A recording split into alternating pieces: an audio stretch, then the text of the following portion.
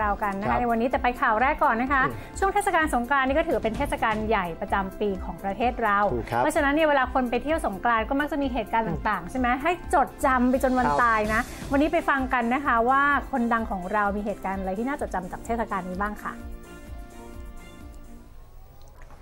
ประเพณีรดน้ำดำหัวที่เราต้องสืบสารพ่วงมาด้วยเทศกาลสนุกๆที่ทุกคนลุกขึ้นมาสาดน้ำกัน ซึ่งในช่วงสงกรานต์แบบนี้นะคะ บางคนเขาก็มีเรื่องให้จำขึ้นใจ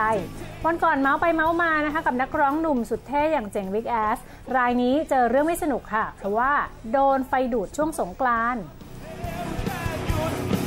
สงกรารคือเราต้องเราต้องเปียกนะฮะต้องเปียกแต่ว่า เวลา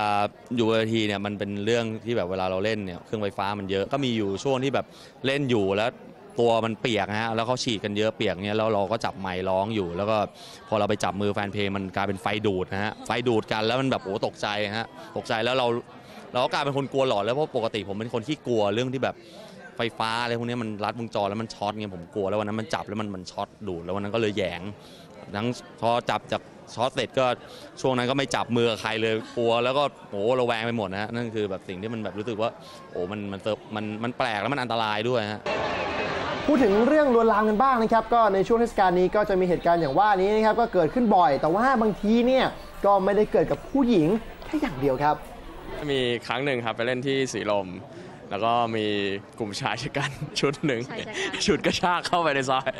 ผมก็กลัวแล้วก็ต้องวิ่งออกมาต้องให้เพื่อนช่วยครับแล้วโดนไม่เรียกว่าทำอะไรไหมแปลกก็ได้เรียกว่ากลัวก็ได้